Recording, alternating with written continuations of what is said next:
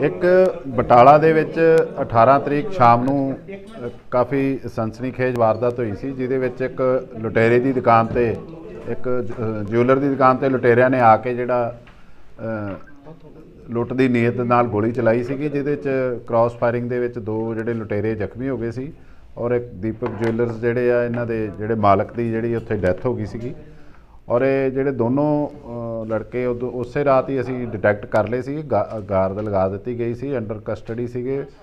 ਇਹਨਾਂ ਨੂੰ ਵਿੱਚੋਂ ਇੱਕ ਨੂੰ, ਕਰਨ ਨੂੰ ਜਿਹੜਾ ਇਲਾਜ ਹੋਣ ਤੋਂ ਬਾਅਦ ਜਦੋਂ ਛੁੱਟੀ ਮਿਲੀ ਹੈ ਤੇ ਇਹਦੀ ਜਿਹੜੀ ਫਾਰਮਲ ਅਰੈਸਟ ਪਾਈ ਗਈ ਹੈ, ਜਿਹਦੇ ਵਿੱਚ ਇਹਦੀ ਪੂਰੀ ਕੁਐਸਚਨਿੰਗ ਕੀਤੀ ਗਈ ਹੈ ਉਹਦੇ ਵਿੱਚ ਇਹਦੇ ਕੋਲੋਂ ਇੱਕ ਜਿਹੜਾ ਪਿਸਟਲ ਜਿਹੜਾ ਇਹਨੇ ਵਾਰਦਾਤ ਯੂਜ਼ ਕੀਤਾ ਸੀਗਾ, ਇੱਕ ਉਹ ਬਰਾਮਦ ਕੀਤਾ ਗਿਆ। ਇਹਦੇ ਨਾਲ ਸਾਰੀ ਵਾਰਦਾਤ ਜਿਹੜੀ ਹੈ ਉਹ ਟਰੈਕ ਕੀਤੀ ਗਈ ਹੈ ਵੀ ਇਹਨਾਂ ਨੇ ਕਿਸ ਕਿਸ ਤਰੀਕੇ ਨਾਲ ਕਿੱਥੇ ਇਕੱਠੇ ਹੋਏ ਸੀਗੇ। ਔਰ ਇਹਨਾਂ ਦੇ ਵਿੱਚ ਇੱਕ ਹੋਰ ਬੰਦਾ ਜਿਹੜਾ ਅ, ਜਿਨ੍ਹਾਂ ਨੇ ਇਹਨਾਂ ਨੂੰ ਸਕੂਟਰੀ ਵੀ ਮੁਹੱਈਆ ਕਰਾਈ ਸੀ ਔਰ ਇਹਨਾਂ ਨੂੰ ਰਹਿਣ ਦਾ ਵੀ ਅਰੇਂਜਮੈਂਟ ਕਰਦਾ ਸੀ ਚਾਂਦ ਨਾਂ ਦਾ ਬੰਦਾ ਜਿਹੜਾ ਉਹ ਅੱਜ ਅਸੀਂ ਜਿਹੜਾ ਇਹਦੀ ਪੁੱਛਗਿੱਛ ਦੇ ਉੱਪਰ ਅਰੈਸਟ ਕੀਤਾ ਅੰਮ੍ਰਿਤਸਰ ਤੋਂ ਜਿਹਦੇ ਕੋਲੋਂ ਵਾਰਦਾਤ ਦੇ ਵਿੱਚ ਵਰਤੀ ਗਈ ਜਿਹੜੀ ਐਕਟਿਵਾ ਜਿਹੜਾ ਉਹ ਵੀ ਬਰਾਮਦ ਕਰ ਲਈ ਗਈ ਹੈ। ਔਰ ਇਹਦੀ ਜਿਹੜੀ ਪੁੱਛਗਿੱਛ ਤੋਂ ਇਹ ਪਤਾ ਲੱਗਿਆ ਵੀ ਇਹ ਜਿਹੜਾ ਆਪਦੇ ਪਰਿਵਾਰ ਦੇ ਨਾਲ ਕਿਰਾਏ ਦੇ ਉੱਪਰ ਜਲੰਧਰ ਰਹਿ ਰਿਹਾ ਸੀਗਾ। ਔਰ ਉੱਥੋਂ ਹੀ ਇਹ ਉਸ ਦਿਨ ਵਾਰਦਾਤ ਕਰਕੇ ਆਇਆ ਸੀਗਾ ਔਰ ਉਸ ਤੋਂ ਬਾਅਦ ਦੇ ਵਿੱਚ ਗੋਲੀ ਲੱਗਣ ਤੋਂ ਪਹਿਲਾਂ ਇੱਕ ਮਜੀਠੇ ਹਸਪੀਟਲ ਗਿਆ ਸੀਗਾ, ਜਿੱਥੇ ਇਹਨਾਂ ਨੂੰ ਰਿਫਿਊਜ਼ ਕਰ ਦਿੱਤਾ ਗਿਆ ਸੀਗਾ ਇਲਾਜ ਕਰਨ ਲਈ ਔਰ ਉਸ ਤੋਂ ਬਾਅਦ ਇਹ ਅੰਮ੍ਰਿਤਸਰ ਜਾ ਕੇ ਇੱਕ ਪ੍ਰਾਈਵੇਟ ਹਸਪੀਟਲ ਦੇ ਵਿੱਚ ਜਿਹੜਾ ਇਹ ਦਾਖਲ ਹੋ ਗਿਆ ਸੀ ਜਿੱਥੇ ਸਾਨੂੰ ਇਨਫੋਰਮੇਸ਼ਨ ਮਿਲੀ ਸੀ, ਇਹਨੂੰ ਅਸੀਂ ਅੰਡਰ ਕਸਟਡੀ ਕਰ ਲਿਆ ਸੀਗਾ। ਇਹਦੇ ਨਾਲ ਜਿਹੜੇ ਇਹਨਾਂ ਦੇ ਗਰੁੱਪ ਦੇ ਮੇਨ ਮੈਂਬਰ ਨੇ ਸਾਰੇ, ਉਹਨਾਂ ਦੀ ਫਿਗਰ ਅਸੀਂ ਆਊਟ ਕਰ ਲਈ ਹੈ। ਉਹਨਾਂ ਦੀਆਂ ਪਿਕਚਰਸ ਵੀ ਸਾਨੂੰ ਮਿਲ ਗਈਆਂ ਨੇ ਔਰ ਇਹਦੇ ਵਿੱਚ ਜਿਹੜਾ ਇਹਦੇ ਵਿੱਚ ਯਸ਼ ਨਾਂ ਦਾ ਇੱਕ ਲੜਕਾ ਹੈ ਜਿਹੜਾ ਇਹਨਾਂ ਦਾ ਸਾਰਾ ਮੇਨ ਗੈਂਗ ਲੀਡਰ ਸੀਗਾ, ਇਹਨਾਂ ਦੇ ਨਾਮ ਹੈਗੇ, ਇੱਕ ਦਾ ਨਾਮ ਕਰਨ ਹੈ, ਰਾਜਾ ਜਿਹੜਾ ਦੂਸਰੇ ਹਸਪੀਟਲ 'ਚ ਦਾਖਲ ਹੈ, ਉਹਦਾ ਆਪਰੇਸ਼ਨ ਹੋ ਗਿਆ। ਇੱਕ ਸਾਹਿਲ ਜਿਹੜਾ ਇਹ ਕਰਨ ਦਾ ਭਰਾ ਹੀ ਹੈ। ਇੱਕ ਹੈਗਾ ਜੁੱਧਬੀਰ ਸਿੰਘ ਏਲੀਅਸ ਸੁਖ।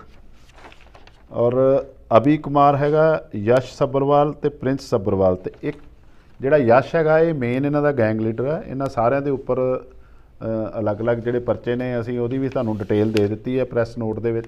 ਯਸ਼ ਦੇ ਉੱਪਰ ਜਿਹੜੇ ਸਭ ਤੋਂ ਜ਼ਿਆਦਾ ਪੰਜ ਮੁਕਦਮੇ ਦਰਜ ਨੇ। ਔਰ ਸਾਡੀਆਂ ਟੀਮਾਂ ਹਜੇ ਵੀ ਇਹਦੇ ਪਿੱਛੇ ਉਦੋਂ ਦੀਆਂ ਲੱਗੀਆਂ ਸੀ ਔਰ ਹਜੇ ਵੀ ਲੱਗੀਆਂ। ਉਹ ਸਾਨੂੰ ਉਮੀਦ ਹੈ ਅਸੀਂ ਬਾਕੀ ਮੁਲਜ਼ਮ ਵੀ ਜਿਹੜੇ ਉਹ ਜਲਦੀ ਫੜ ਲਵਾਂਗੇ।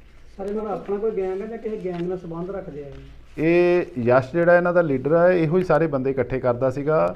ਜਿਹੜਾ ਅੱਜ ਅਸੀਂ ਇੱਕ ਬੰਦਾ ਫੜਿਆ ਚਾਂਦ ਇਹਨੇ ਵੀ ਪਹਿਲਾਂ ਇੱਕ ਪ੍ਰਿੰਸੀਪਲ ਸੀਗੇ ਅੰਮ੍ਰਿਤਸਰ ਦੇ, ਉਹਨਾਂ ਦੇ ਘਰੇ 6 ਕਿਲੋ ਸੋਨੇ ਦੀ ਚੋਰੀ ਕੀਤੀ ਹੋਈ ਹੈ ਇਹ ਸਾਰੇ ਬੈਕਗ੍ਰਾਉਂਡ ਇਹਨਾਂ ਦਾ ਕ੍ਰਿਮੀਨਲ ਹੀ ਹੈ ਔਰ ਇਹ ਇੱਕ ਦੂਜੇ ਦੇ ਨਾਲ ਜਿਹੜੇ ਸਾਰੇ ਟੈਲੀਫੋਨ ਦੇ ਜ਼ਰੀਏ ਵਰਚੁਅਲ ਕਾਲਾਂ ਕਰਕੇ ਇਕੱਠੇ ਹੁੰਦੇ ਸੀਗੇ। ਇਹ ਜਿਸ ਤਰ੍ਹਾਂ ਇੱਥੋਂ ਵਾਰਦਾਤ ਕਰਨ ਲਈ ਪਹਿਲਾਂ ਜੰਡਿਆਲੇ ਇਕੱਠੇ ਹੋਏ ਸੀਗੇ। ਜੰਡਿਆਲੇ ਤੋਂ ਆਇਆ ਅੰਮ੍ਰਿਤਸਰ ਇੱਥੇ ਆਏ ਸੀਗੇ।